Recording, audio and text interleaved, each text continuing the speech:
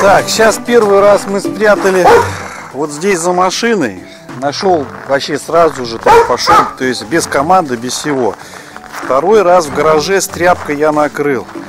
Сейчас я статиста положил вообще в машину. Будет лежать в машине и накрыто. Это первый раз у нас. То есть в машине мы еще ни разу не искали, мы не прятали. То есть дверь машины открытая, статист лежит на полу. Так что вот такие вот дела. Рядом.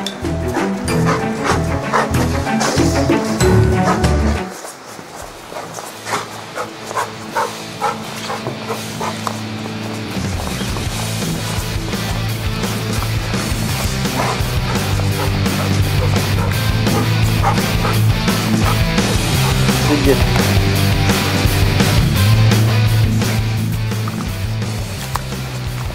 Сейчас мы его найдем. Сейчас мы его найдем. Работай.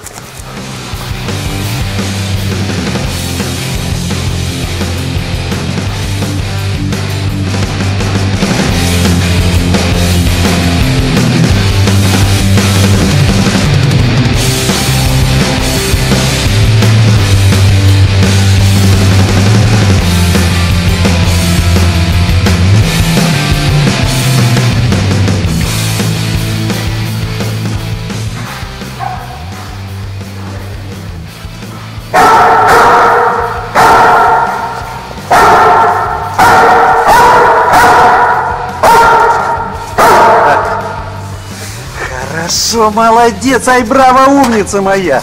Ай, молодец, ай, хорошо. Ай, молодец, ай, браво. Ай, хорошо, мальчик, ай, браво. Ай, умница моя, красавица моя. Дима встает, пошли все вместе.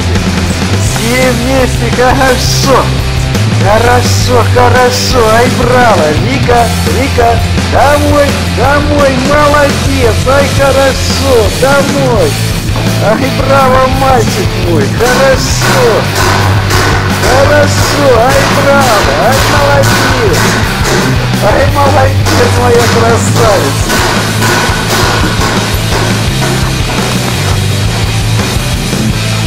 Хорошо, молодец, умница, ай, умница, Дима, погладь. Ай, хорошо, ай, хорошо, мальчик. Домой, домой, домой, домой, домой.